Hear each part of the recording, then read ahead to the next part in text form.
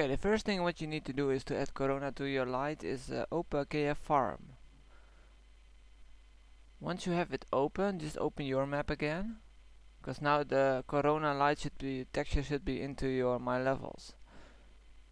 Because now we're going to open, first we're going to uh, add a light. Right mouse add light. Move it up a little. Right mouse on it, light properties.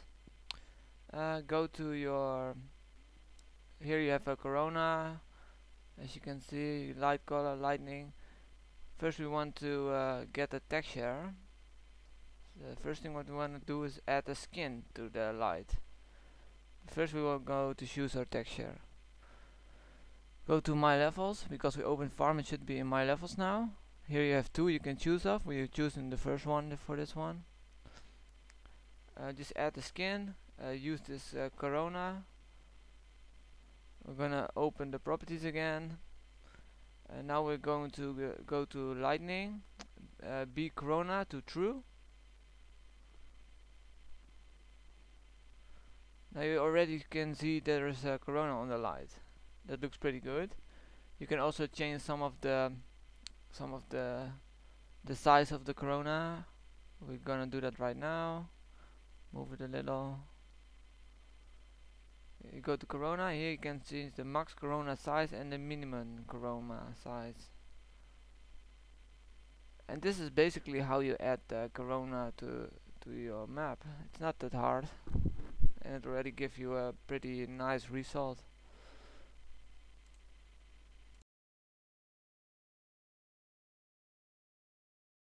Now we're going to make our own trader from scratch. Okay, the first thing what you need to do is make a, small hallway for the door to fit inside.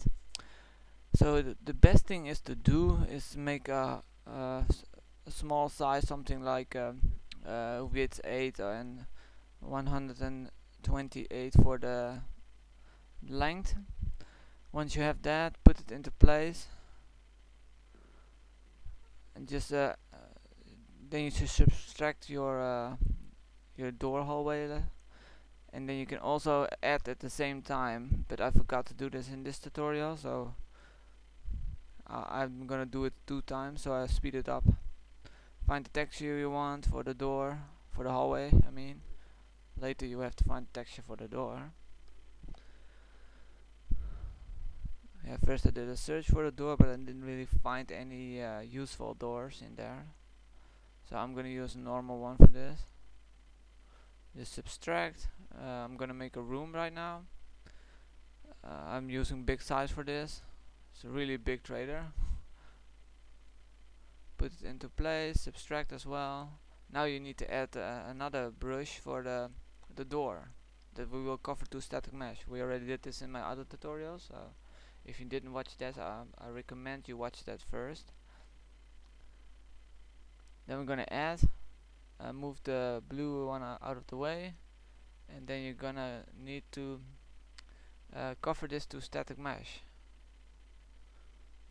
Once you have this to static mesh save it as my level uh, package uh, whatever your map uh, wants it your name whatever. Okay. Now you can delete the blue brush and we're going to find it in the static mesh browser my level and should be there. Once you have it there you're going to go to the the cube with the arrows uh, KF trader door.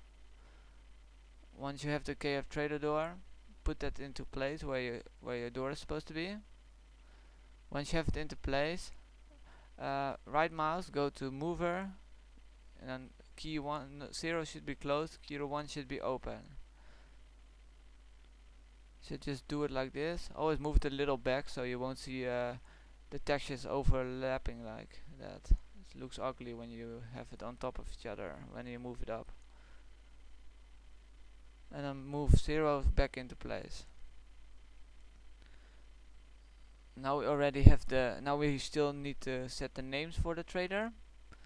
This is all correct already. You don't have to change any of that.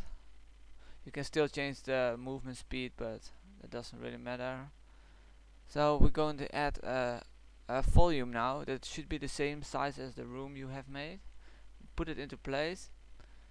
Make sure you don't go over the door otherwise people will be able to trade when they the door is closed. And then we're just gonna add a shop volume. I'm gonna look for the shop volume. It should be here and here. Ah there it is. Move it out of the way now we're gonna set up some names for the for the shop volume. Right mouse on it. Uh, event.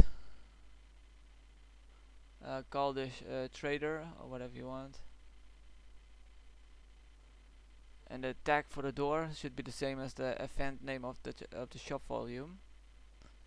The URL should be where the teleport is uh, supposed to go once the trade is closed. So just call it any name you want.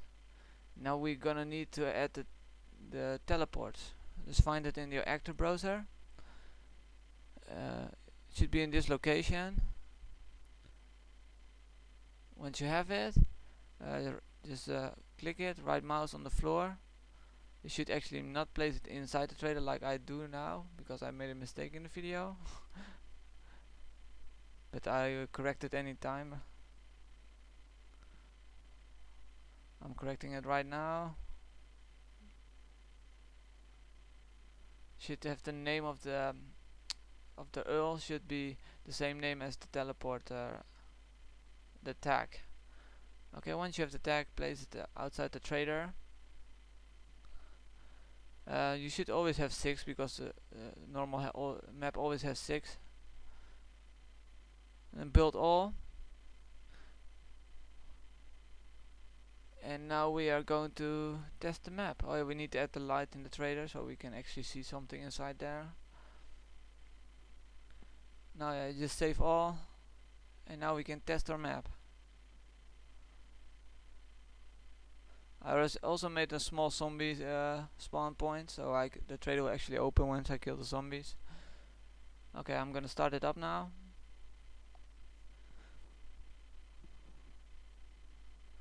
Uh, open the map, play. I want to start it as beginner, so it uh, I finish it quicker.